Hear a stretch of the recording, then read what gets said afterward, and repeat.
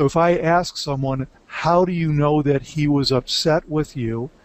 And his answer is, because that's how I would feel if I were in his shoes. Uh-huh.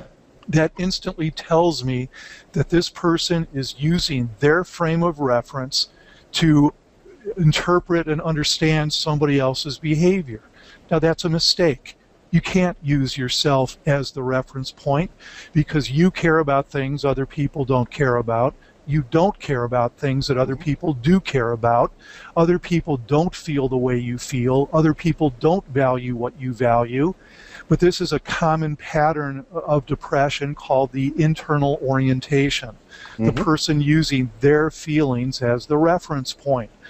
And in fact, it's been one of my objections to some of the things that have been said by some of the mindfulness teachers when they talk to you about how you can feel what other people are feeling. That's exactly what I'm trying to get depressed people to stop Okay. doing, to stop interpreting and stop and stop mind reading that they know what's going on with someone else.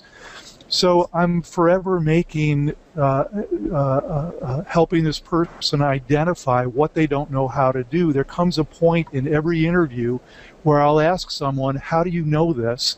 And the person will pause and look like the the proverbial deer in the headlights before their answer is, "I don't know." They made it up.